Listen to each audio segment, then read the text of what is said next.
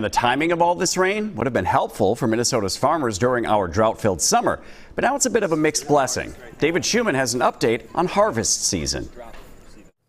So basically, you're trying to make the, the fermentation very, very slow. The weekend's rain ended in time for Nate Waters to give a full tour Sunday of his keepsake cidery in Dundas in Rice County. You see that like very beautiful golden. Harvest at the orchard is just getting started, but it's already clear how much damage a July hailstorm did. Nate figures to lose 25 to 30 percent of his apples, 15,000 pounds of fruit. It's a bummer. It's a, it's, a, it's a definitely a disappointment when I see that. And I'm, here's a good example. Like you pick that apple, looks good, but then that's the hail. Nate says the rain this weekend was much needed for replenishing the ground, but for him, the drought this summer actually had the silver lining of helping his branches heal from the hail damage. If we had had many ah. wetting periods, I think I'd had a much, much harder time dealing with diseases. Of course, Nate's situation is unique. These will eventually be sheep food. Minnesota's agriculture commissioner says, yeah, more rain would have been nice. We really could have used some rain around the state fair time to really finish off the crop. So not having that rain, what it did is it really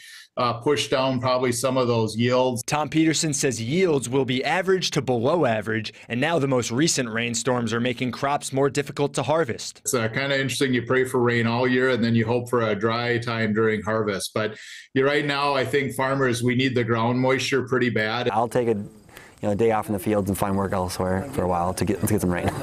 in Dundas, David Schuman, WCCO News. The Department of Agriculture says this rain has given some relief to cattle farm pastures that need it. Some good news is that the sugar beet yield looks to be above average.